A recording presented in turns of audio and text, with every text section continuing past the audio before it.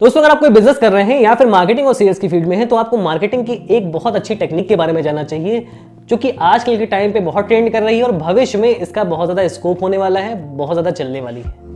ये है experiential marketing ये एक्सपीरियंशियल मार्केटिंग एग्जैक्टली होती क्या है? लोग इसका यूज़ कैसे करते हैं? और आगे के टाइम में क्यों ये ज़्यादा यूज़ होने वाली है? इन्हीं चीज़ों के बारे में हम इस वीडियो में बात करेंगे।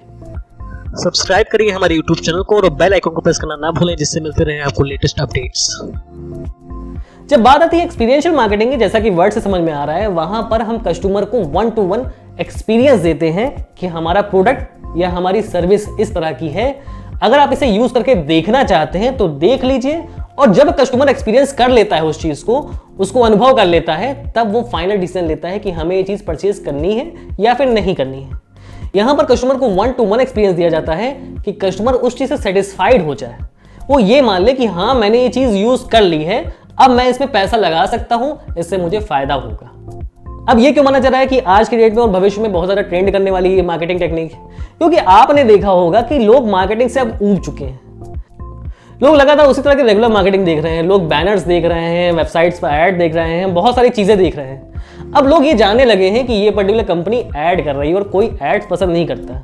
जब सामने वाले कस्टमर को पता चल जाता है कि सामने वाली कंपनी ऐड कर रही है मार्केटिंग कर रही है, उन्हें सेल के लिए पुश कर रही है तो कस्टमर उस चीज़ को अच्छा नहीं मानता है। ये चीज़ें कस्टमर के लिए कुछ हद तक बोरिंग हो गई।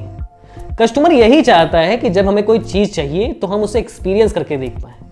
हम ये जान ले कि हाँ ये चीज़ हमारे साथ इस तरह से बिहेव करेगी, या फिर ये सर्विस हमें इस तरह से फ़ायदा देगी, या फिर इस प्रोडक्ट को यूज़ करके हमें अच्छा लगेगा, हमें सेटिस्फैक्शन फील होगा, तभी हम ये चीज़ परचेज करेंगे।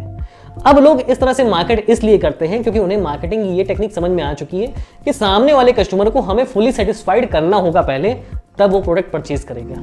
क्योंकि आजकल का टाइम ऐसा आ गया है कि बहुत ज़्यादा कॉम्पिटिशन आ गया मार्केट में। हर कोई अपना प्रोडक्ट अपना सर्विस बेचना चाहता है और उसके लिए वो कुछ भी डिस्काउंट देने को तैयार है। लेकिन कस्टमर ये चाहता है कि हम चीज़ों को पहले यूज़ करके देख लें। हम जब यूज़ कर लेंगे तो मतलब हम जान लेंगे कि ये चीज़ें अच्छी होंगी हमारे लिए। और यहीं पे एक्सपीरियंशियल मार्केटिंग की टेक्निक आती है। इसे एक एग्ज़ाम्पल के तो समझते हैं। आप कार लेने गए हैं, आप कार परचेज करने गए हैं तो वहाँ पर एक सेल्समैन आपको कार ड्राइव करवाता है कि कार ड्राइव करके देख लीजिए सर आप कार ड्राइव करते हैं, आपको अच्छा लगता है कि हाँ ये कार मेरे लिए अच्छी हो सकती है। ड्राइव करने में अच्छा एक्सपीरियंस हो रहा है। फिर आप उस कार को परचेज करने में ज़्यादा इंटरेस्ट लेते हैं। उसमें थोड़ा पैसा कम पड़ रहा होता है, तब भी सोचते हैं कि पैसा लगा दें, क्योंकि मैंने इसका एक्सपीरियंस लिया है, ये चीज़ अच्छी है। ये हो गई एक्सपीरियंशियल मार्केटिंग यहाँ पर सामने वाला सेल्समैन आपको एक्सपीरियंस दे रहा है कि आप यूज़ करके देखिए और आपको अच्छा लगे तो परचेज करिए। आपने सॉफ्टवेयर सर्विस देखी होंगी। हर सॉफ्टवेयर सर्विस में आपको ट्रायल का ऑप्शन मिल जाता है कि पंद्रह दिन का ट्रायल लीजिए। अगर आपको अच्छा लगता है तो आप परचेज करिएगा अदरवाइज़ परचेज मत करिएगा, आपका ट्रायल एक्सपायर हो जाएगा। तो यहाँ पर लोगों को यह फ़ायदा हुआ कि हम सॉफ्टवेयर यूज़ करना चाहते हैं। अब हमें नहीं पता है कि हम कौन सा सॉफ्टवेयर लें। तो हमने एक ट्रायल वर्जन ले लिया, पंद्रह दिन के लिए ट्रायल मिल गया। अब हम उसे एक्सपीरियंस कर सकते हैं कि सामने वाली चीज़ें अच्छी चल रही है या नहीं, या फिर हमारे अकॉर्डिंग है या नहीं। यहाँ पर पंद्रह दिन उस आदमी ने सीरियसली उसे एक्सपीरियंस किया कि हाँ ये चीज़ कैसे होने वाली है?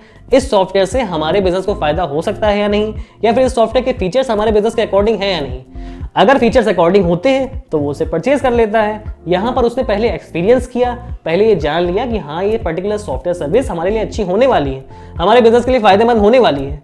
तो उसे परचेज कर लिया उसने अदरवाइज़ परचेज नहीं किया। तो मतलब यहाँ पर सॉफ्टवेयर वालों ने एक्सपीरियंशियल मार्केटिंग की। उन्होंने पहले सामने वाले कस्टमर को एक्सपीरियंस दिया कि आप इसे पहले एक्सपीरियंस करिए। तो ये चीज़ एक्सपीरियंशियल मार्केटिंग हो गई। आजकल हर सॉफ्टवेयर सर्विस कंपनी पहले कस्टमर को ट्रायल देना चाहती है, इसीलिए क्योंकि वो जानती है कि सामने वाला कस्टमर बिना एक्सपीरियंस के परचेज करने में इंटरेस्टेड नहीं है, वो डरता है। इसलिए पहले उसको एक्सपीरियंस कराना ज़रूरी है। तो ये भी चीज़ एक्सपीरियंशियल मार्केटिंग है। आपने लेंस कार्ड के बारे में सुना होगा। वहाँ पर उन्होंने बहुत अच्छा तरीका निकाला है कि कस्टमर अपने ऊपर लेंसेज को ट्राई करके देख सकता है वर्चुअली अब उन्होंने वर्चुअली इसलिए निकाला क्योंकि कस्टमर कहीं भी हो, वो उसे एक्सपीरियंस करा सकते हैं कि आपके ऊपर ये लेंस अच्छा लगेगा। कस्टमर ने उन चीज़ों को अपने ऊपर एक्सपीरियंस करके देखा, उन्होंने देखा हमारे ऊपर अच्छा लग रहा है, उन्होंने इस चीज़ को एक्सपीरियंस किया, फिर उन्होंने परचेज किया। तो अब कस्टमर यहाँ से सेटिस्फाइड हो गया कि हमने एक्सपीरियंस कर लिया है, हम परचेज कर सकते हैं। तो ये चीज़ उनकी भी एक्सपीरियंशियल मार्केटिंग है।